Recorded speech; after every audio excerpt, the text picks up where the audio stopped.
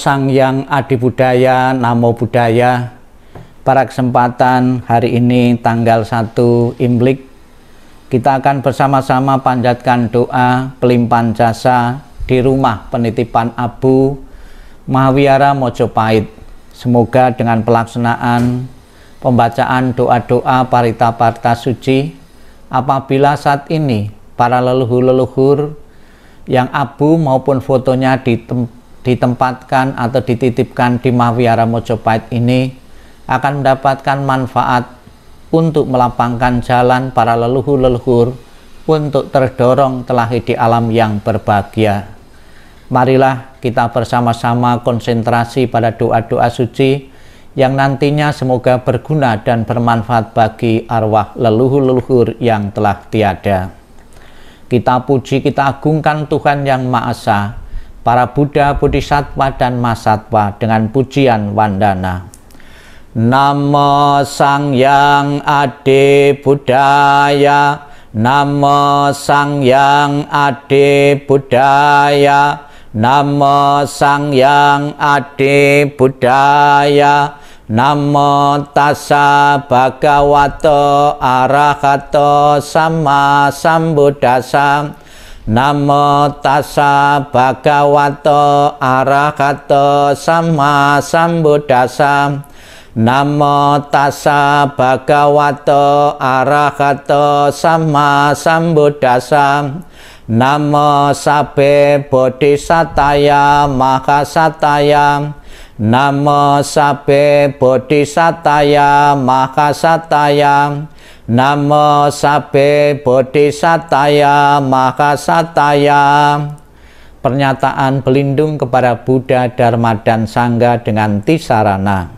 Budang sarenang gacami Damang sarenang gacami Sanggang sarenang gacami Dote ampe budang sarenang gacami Dote ampe damang sarenang gacami Dote ampe sanggang sarenang gacami Tate ampe budang sarenang gacami Tate ampe damang sarenang gacami Tate ampe sanggang sarenang gacami Perenungan terhadap sifat kebaikan Buddha Nusati.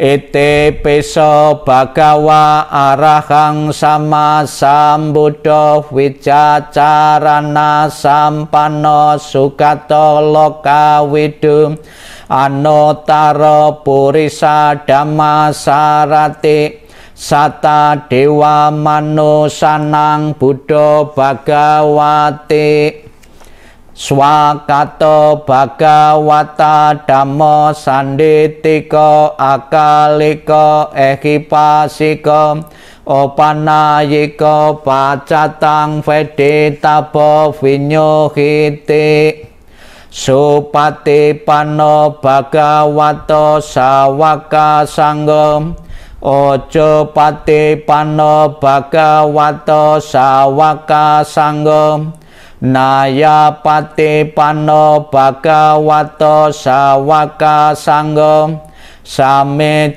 pati pano bhagavato sawaka sanggo Yadidang catari purisa yugani Ata purisa bukala esa bhagavato sawaka sanggo Aku neo bahu neo dake neo Anjali karaneo anyo tarang punya ketang lokasanti.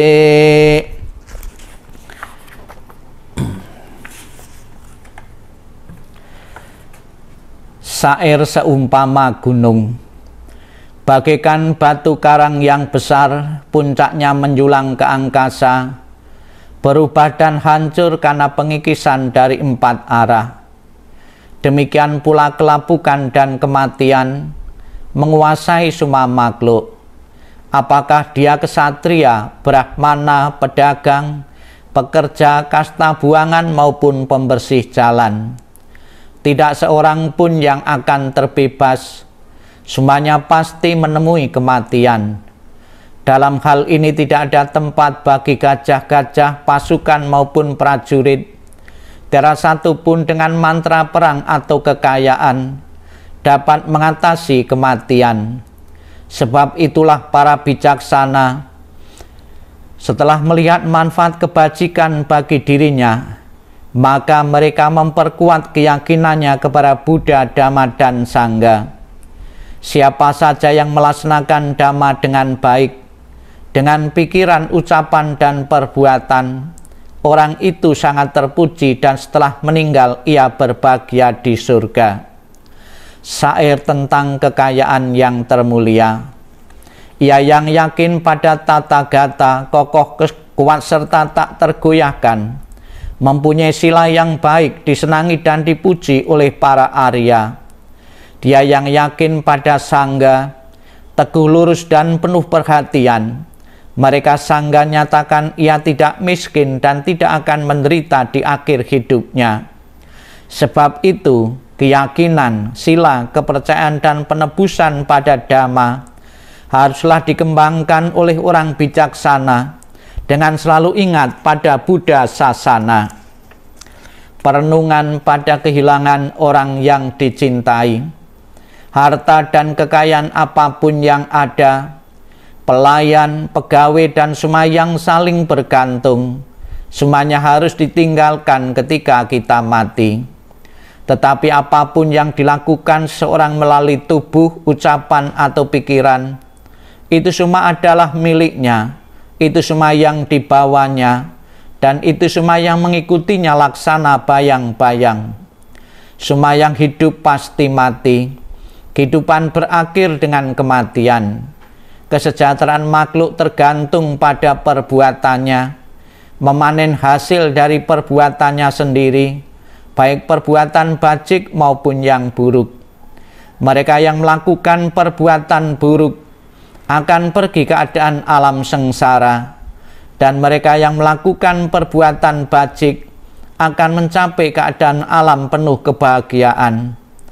Oleh sebab itu, Biarlah semua orang selalu melakukan perbuatan yang bajik untuk tabungan kehidupan yang mendatang. Perbuatan bajik membawa kebahagiaan di masa depan.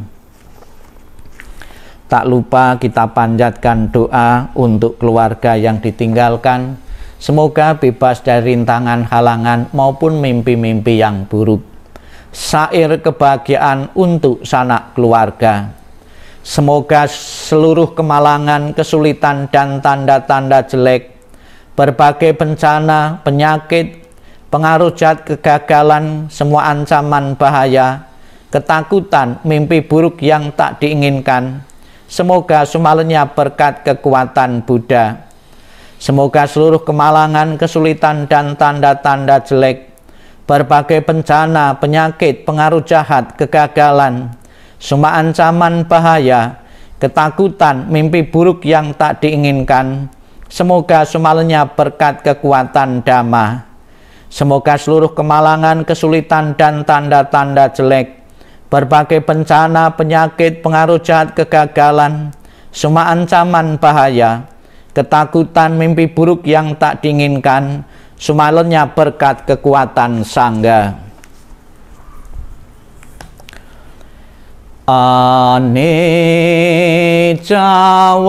Anicawata sangkaram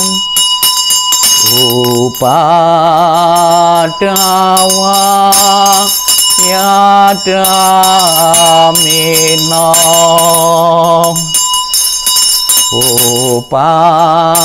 Upacitwa Niro Chanti Tesang Wupa Sama Sukong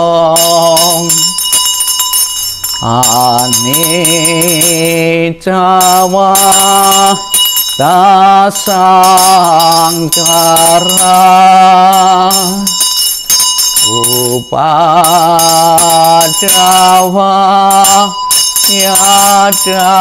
yadramena upasitva nirosante tesang upasitva Samasukam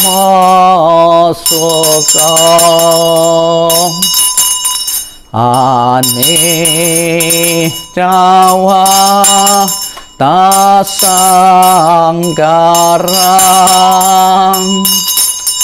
Upada Hayadam Hinam hinom upacitwa niro cantik tesang bupa samo sokom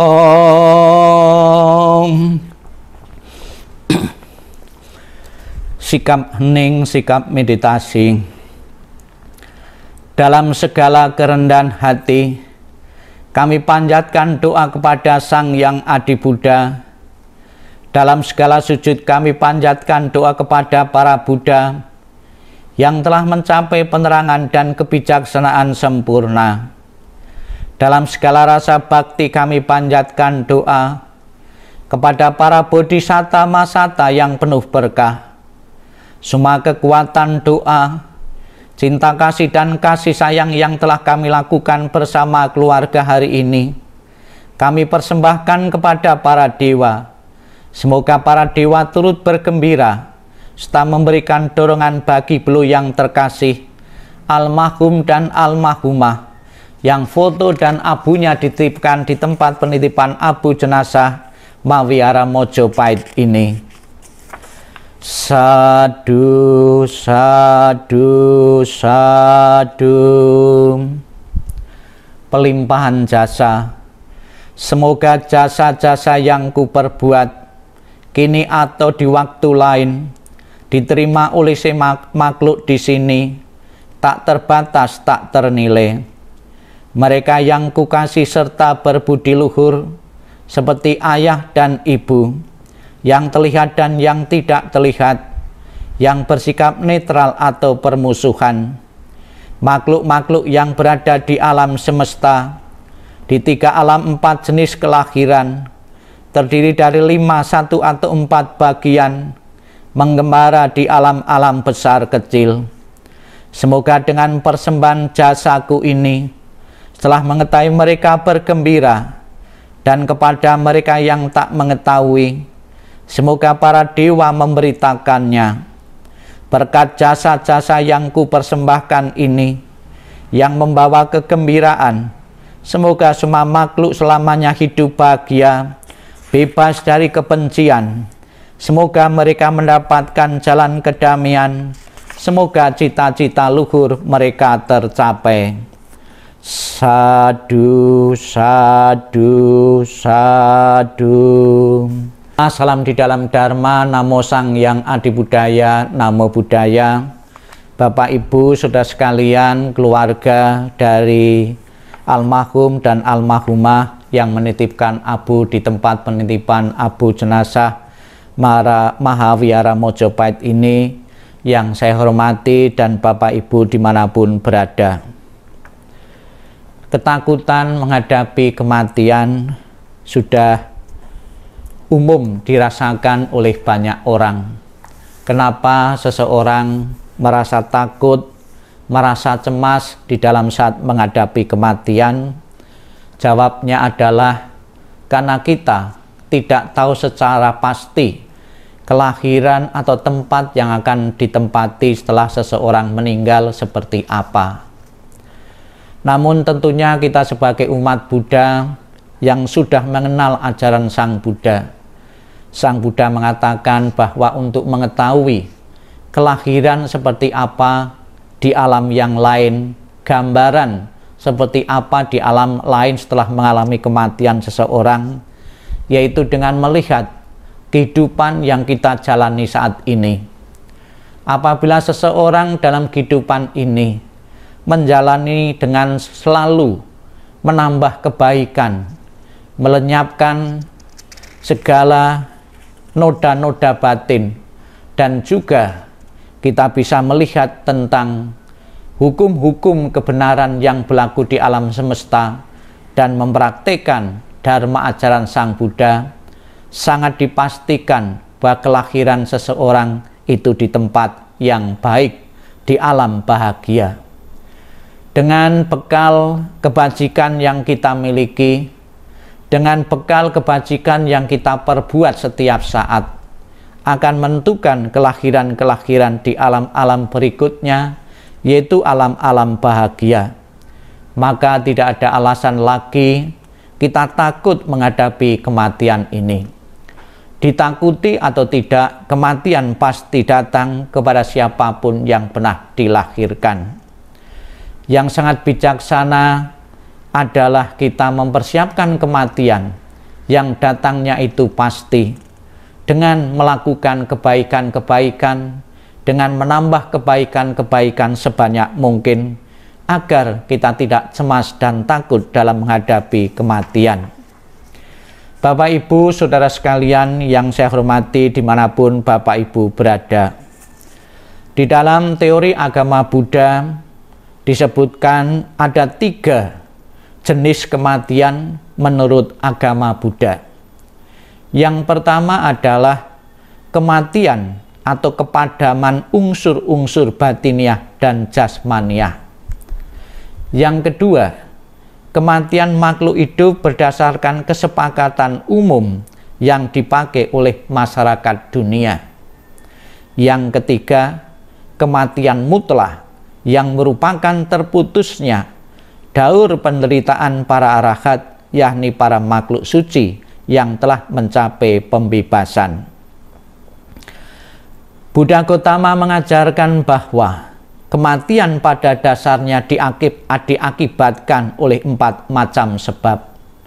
Yang pertama, kematian disebabkan usianya usianya habisnya usia yaitu kematian yang disebabkan usia tua atau setelah mencapai batas usia rata-rata. Yang kedua, kematian disebabkan habisnya karma. Dimaksudkan orang yang mati dalam usia muda, masih bayi atau kanak-kanak, masih bujang atau gadis yang belum sempat mencapai batas usia. Yang ketiga, kematian yang disebabkan habisnya usia dan karma yaitu kematian yang dialami oleh seseorang karena batas usia dan karma tetap waktunya telah habis. Kemudian yang keempat, kematian disebabkan oleh gangguan lain, yaitu kematian yang belum habis masa usia dan karmanya. Kematian ini disebabkan karena bencana seperti tertembak, tertabrak mobil, tenggelam, diterkam binatang, kelaparan, kehausan, penyakit menular, dan lain-lain.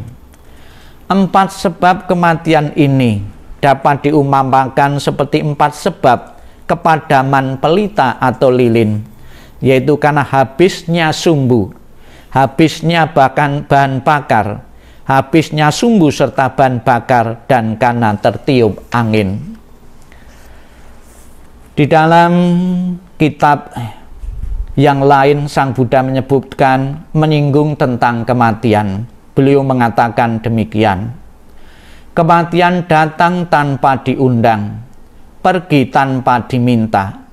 Sesungguhnya kematian entah datang dari mana. Kematian singgah barang beberapa hari.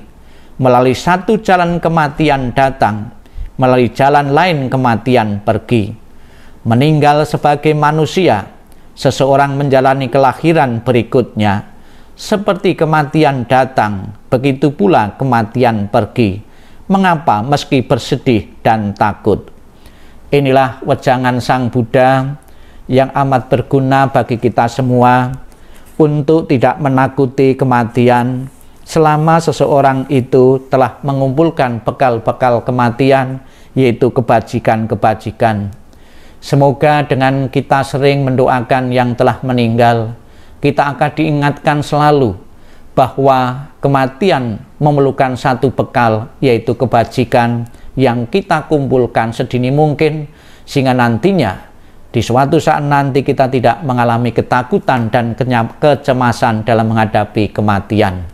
Semoga berkah Tuhan Yang Maha Esa, para Buddha, Bodhisattva, dan Masatwa, dan timbunan kebaikan-kebaikan para leluhur-leluhur yang abu maupun fotonya ditipkan di sini akan segera mendorong untuk terlahir di alam yang berbahagia dan keluarga yang ditinggalkan segera mengikhlaskan kepergian para leluhur untuk terlahir di alam-alam yang lain sesuai dengan karma-karma yang pernah dijalani semasa hidupnya. Sabi Sata Bawantu Sukitata Semoga semua makhluk hidup berbahagia dan sejahtera. Sadu, sadu, sadu